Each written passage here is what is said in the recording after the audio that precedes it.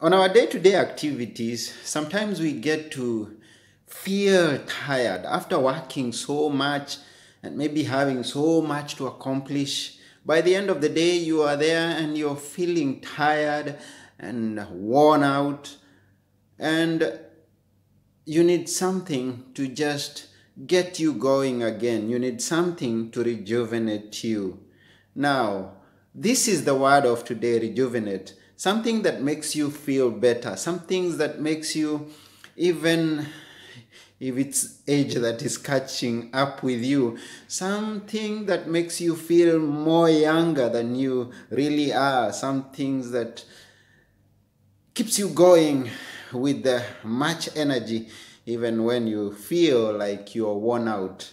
What is it that thing that makes you have life again?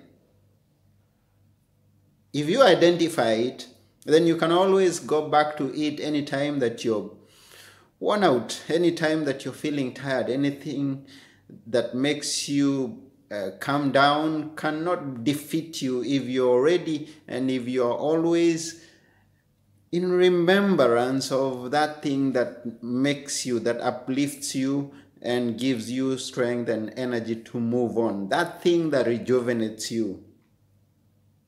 If you know it, you're going to have a young life even when you're old.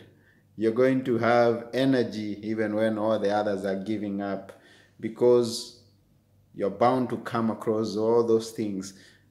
But uh, you need to have an anchor that rejuvenates you. This is Anthony Muiruri, and I'm wishing you a great life, a great day as you're working, as you're accomplishing your goals.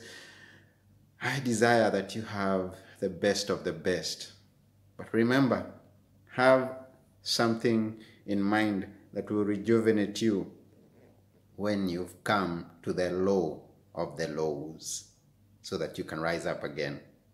Until next time, it's bye for now and may God bless you. Thank you.